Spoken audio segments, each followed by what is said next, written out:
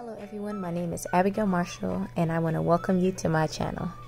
Today I want to present to you these beautiful shelf decor pieces that were made from items only found at the Dollar Tree. The following items are needed to complete this project. Four wooden blocks, a wired shelf, foam rings, a metal plaque, rope, and little pebbles. Now I'm going to list a few items that you may already have at home. Hopefully you do, otherwise you can always grab them when you're at the store. You may not need every last item, you can probably improvise on some of them.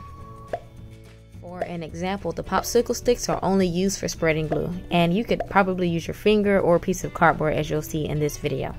So let's begin. This cabinet shelf is going to be used for holding my props up. Taking the legs off were pretty tricky, but I realized that you have to bend it in a backwards and forwards motion to actually break them off. But you can't bend them too hard, just kind of push and pull the legs in short motions until they snap. And you'll find that they won't bend. While I did this, it felt like they wouldn't break, but as I continue, eventually they snap, so don't give up. Next, we're going to sand our wooden blocks to prepare them for staining. I'm no professional at sanding, but I do know that I do not like splinters. So I do not have any preferences for you guys to sand to, but I would say sand to your liking. But making sure to knock off those large splintering pieces, in which you'll see in this next clip. Once the sanding is completed, we need to measure, mark our center, as we prepare to drill our holes. I'm not sure what size my drill bit is, but it's almost the same size as the wired leg. I'm only drilling about halfway through my block. Be sure not to drill all the way through. We're going to go back in with our hammer and reinforce our wired leg so that it does not move. I would recommend you go outside and hammer it right on the sidewalk if you don't have a table already that was meant for hammering. I know that it was not safe for me to hammer on my table, so I moved my piece onto a solid surface elsewhere and hammered there. Because those light taps that you saw me doing on here were not getting the job done.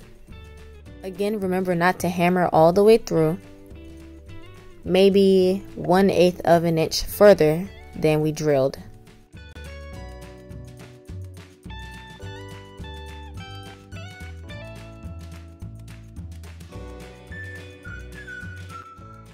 My glue was just so, so clumpy, but it got the job done.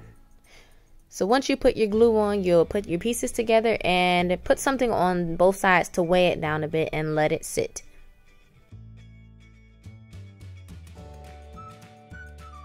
Now it's time to create the heads.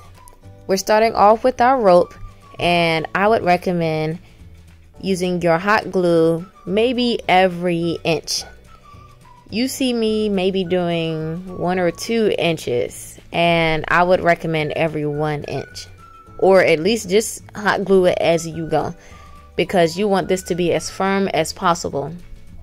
The more glue you use, the better it will stand on its own. I used two packs of rope and the size came out perfect. It's okay that the glue is visible on the back side. We just want to make sure that we keep the front of it clean. So try to clean up as you go to avoid adding problems to your project. If you have gloves that are safe to use with a hot glue gun, I highly recommend it because I burnt myself so, so many times. So please be careful.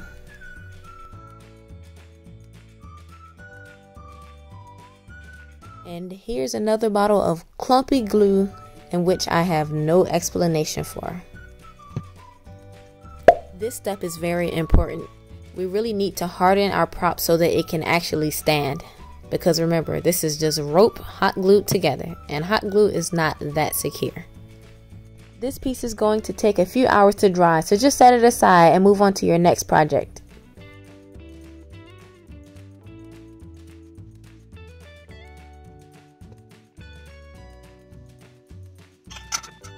So far we've created our first prop and onto the second one. This will be the easiest one. The most challenging part was trying to figure out how I was going to attach my props to the wired leg. So here I'm just doing a test practice to figure out what will work best. I'm using the wired leg that I accidentally bent the wrong way as test practice, so we'll come back to it and see how it holds up.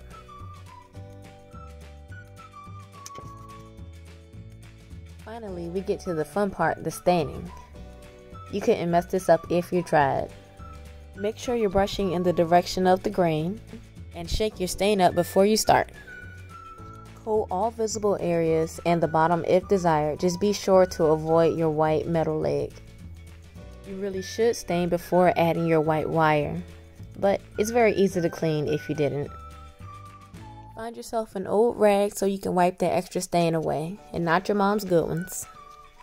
I wasn't willing to use any of my good rags, so I just got tissue paper. It, it worked fine. I didn't worry much about staining the bottom. Once I used my rag to wipe the residue away, it smeared onto the bottom nicely, so I didn't really have to stain it directly. Remember that this is your project and you can do it any way that you want. You don't even have to stain it. You could use acrylic paint and paint it another color. You could get a wood burner and burn designs into it. I think that would be beautiful as well.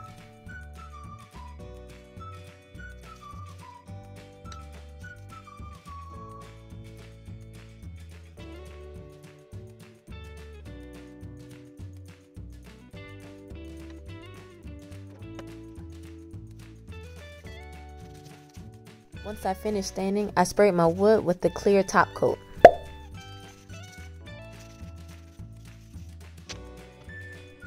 As I said earlier, the white coating on our wired legs clean up very easy.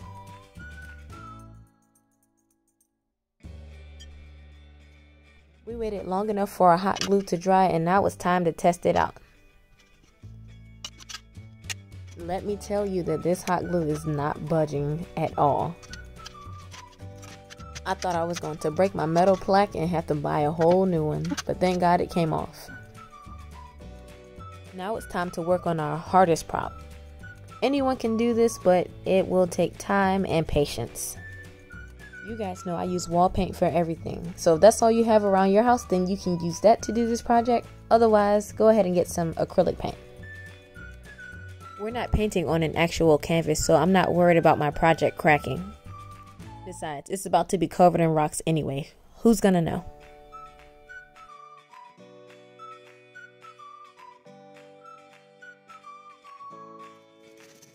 You'll need only one bag of rocks for your foam ring.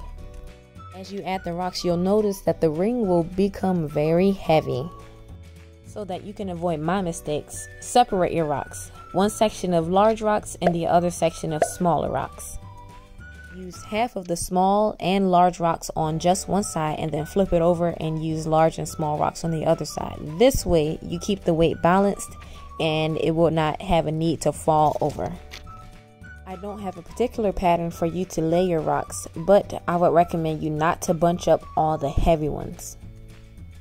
I didn't realize this until later, so do as I say and not as I do.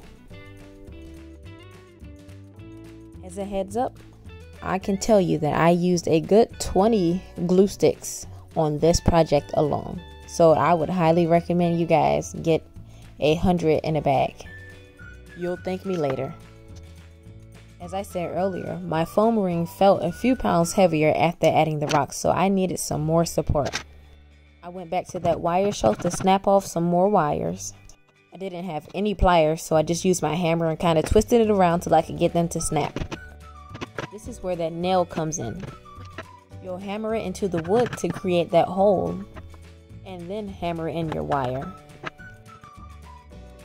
And the part we've all been waiting for is securing the prop.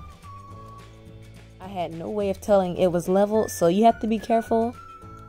If you insert the wires the wrong way, just remove the ring, rotate it, and reinsert, and then cover the holes with the rocks.